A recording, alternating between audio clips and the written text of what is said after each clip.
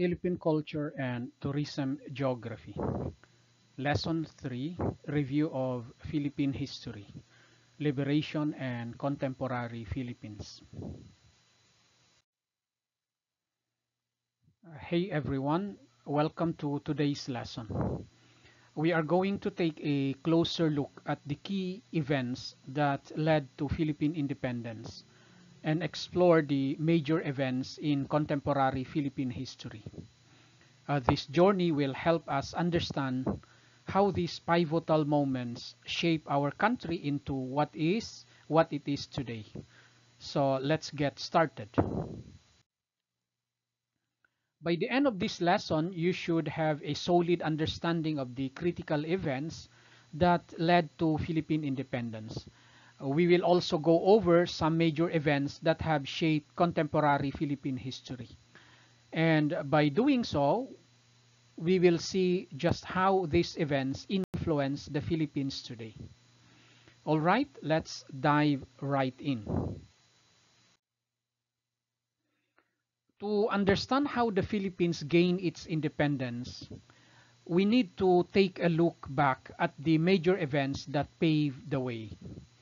It all started with the Philippine Revolution from 19 from 1896 to 1898, which led by key figures like Andres Bonifacio and later Emilio Aguinaldo.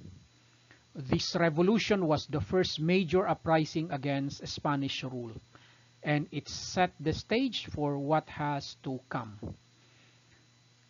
On June 12, 1898, Emilio Aguinaldo declared Philippine independence from Spain in Kawit, Cavite.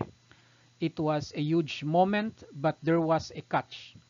The United States didn't recognize this independence, which led us into a new chapter of struggle. After the Spanish-American War, the Treaty of Paris in 1898 handed over the Philippines to the United States. Even though we had declared independence, we became a U.S. colony. The Philippine-American War followed soon after, from 1899 to 1902, with Filipinos resisting American rule. No doubt this war was brutal, leading to heavy casualties and ultimately the United States took control. Despite the hardships, the Filipinos, however, kept striving for true independence. Now, fast forward to the common Commonwealth era from 1935 to 1946, which marked a period where the Philippines was granted some self governance under the US, but we were still a colony. Manuel L. Quezon became the first president of the Commonwealth of the Philippines, and we saw early steps toward self-rule. Then came World War II and the Japanese occupation from 1941 to 1945. The Japanese invasion brought a brutal chapter in our history. The Philippines played a key role in the Pacific Theater and the infamous Battle of Leyte in 1944 marked the return of General Douglas MacArthur and the beginning of our liberation. This period was filled with hardship, but it also showed the resilience of the Filipino people. Finally, after the end of World War II, the Philippines was liberated from Japanese occupation and on July 4, 1946, the United States formally recognized our independence through the Treaty of Manila. This was a monumental moment as we transitioned from a colony to a sovereign republic. But independence also brought new challenges rebuilding a nation that had been devastated by war was no easy task. After the independence, the Philippines entered the early republic period From 1946 to 1965, Manuel Roxas was our first president and his focus was on post-war recovery and building diplomatic relations. Ramon Magsaysay, who served from 1953 to 57, was known as the champion of the common man. He aimed to fight corruption and improve the lives of those in rural areas. But let's not forget, this was a challenging time. The country had to rebuild from the devastation of World War II and economic inequality remained a significant issue with ongoing agrarian unrest. Next, we have the martial law era under Ferdinand Marcos, who served as president from 1965 to 1986. Initially, Marcos was elected democratically, but in 1972 he declared martial law, citing rising insurgency and instability. No doubt, martial law brought significant changes. There was political repression, suspension of civil liberties, and a lot of censorship. Many opposition leaders were arrested, and the press was heavily controlled. Economically, the early years of Marcos' rule promised growth, but soon enough, the country faced mounting debt, corruption, and economic decline. This era ended with the People Power Revolution in 1986. A peaceful revolution, a peaceful revolution or uprising led by Corazon Aquino and millions of Filipinos. Uh, this movement successfully ousted Marcos and restored democracy, proving the power of collective action. With the end of martial law, uh, Corazon Aquino became the first female president of the Philippines, serving from 1986 to 1992. His presidency was focused on restoring democratic institutions and drafting a new constitution. However, her government faced significant challenges, including several military coup attempts and efforts to recover the economy.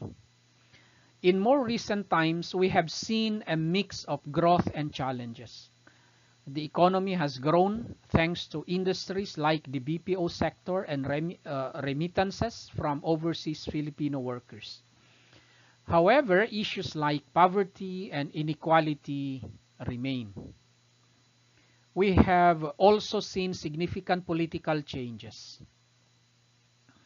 Joseph Estrada was removed from office due to corruption through a second peaceful uprising known as EDSA 2. More recently, Rodrigo Duterte's presidency was marked by his controversial war on drugs and a push for infrastructure growth under the Build, Build, Build program. Today, Ferdinand Marcos Jr. is the current president, which shows that political dynasties still play a major role in the country.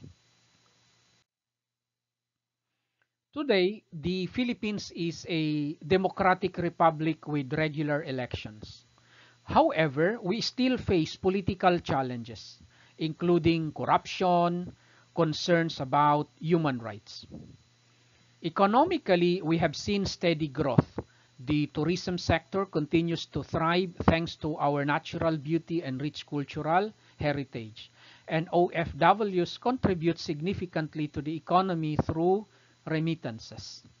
The Philippines also maintains key international relationships, particularly with countries like the United States and China as well as our ASEAN neighbors.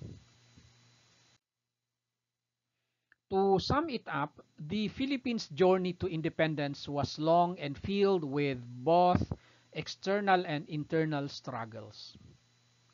Post-independence, the country faced challenges like the martial law era, but also saw democratic restoration. Contemporary Philippines is marked by economic growth, and ongoing political challenges, and it continues to evolve.